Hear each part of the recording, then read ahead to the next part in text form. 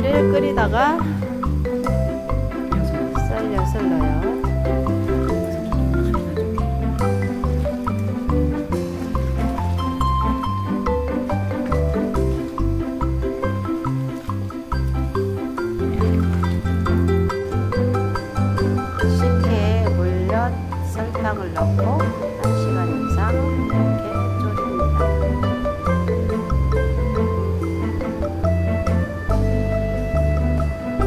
고춧가루 지금 고추장 10근에 메주가루 2kg 넣은 거죠. 음. 엿기름도 2kg 메주가루도 2kg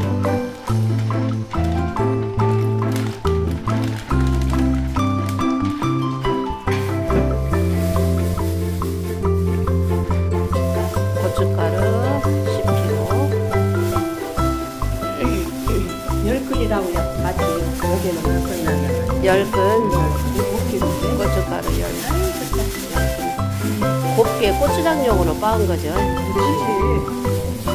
고추장용으로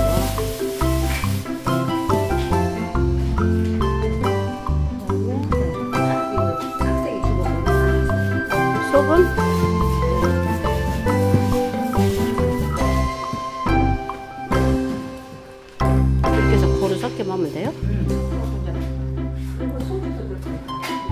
소주 방부제로 이거 물건 어디냐?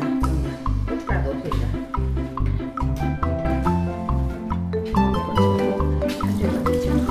소주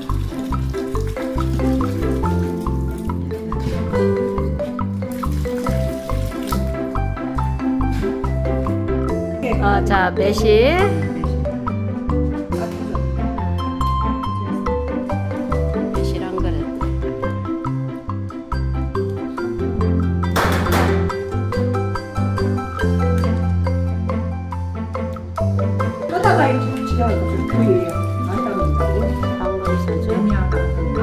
봐. 가나?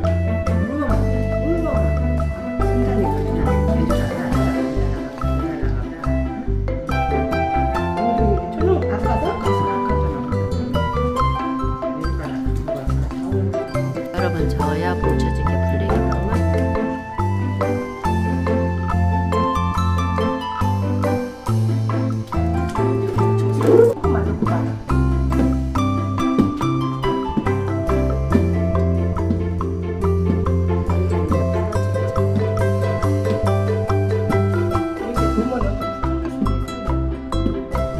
이걸로 이렇게